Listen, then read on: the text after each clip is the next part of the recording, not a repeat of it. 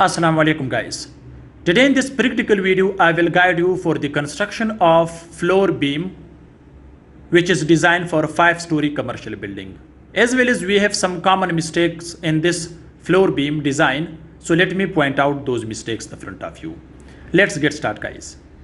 First of all size of the beam is 12 by 18 inches. Width is 12 inches, depth is 18 inches. Here guys we have 10 steel rods, 4 at the bottom, 4 at the top, 2 are side bars. All steel rods dia is 16 millimeter. Guys, you can see.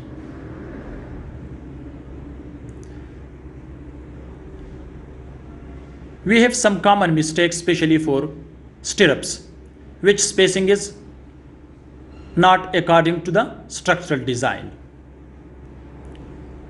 because to the distance of L by 4 we should provide stirrups closely.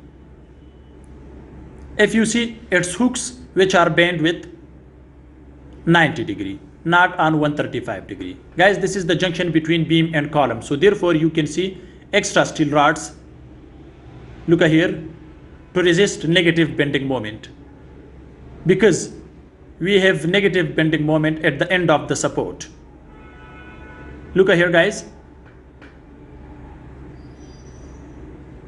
Extra steel rod should be provided with the distance of L by 4, where L is the to total distance between two columns.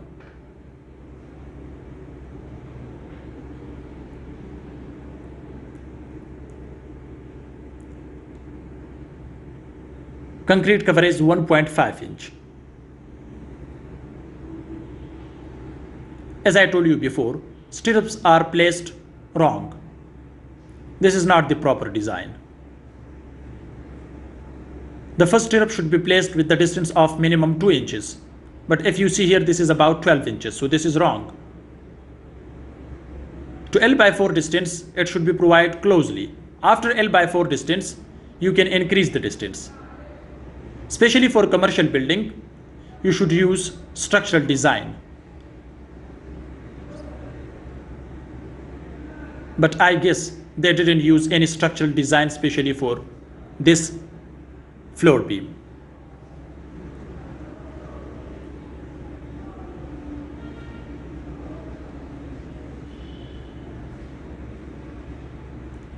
Now guys, again you can see they provided development length which is about 6 inches so it's okay development length is very important for floor beam as well as for plinth beam to make a good bond between steel and concrete. Only there is mistake especially for stirrups placing and also its hooks. Die of stirrup is 8 millimeter.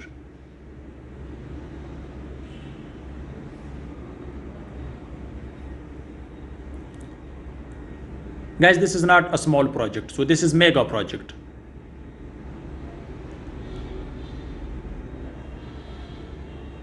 Here guys, you can see therefore they provided extra steel rods here because the length is maximum between two columns which is about 27 inches from this column to the, the another one. Look here guys. So this is 27 inches uh, 27 feet sorry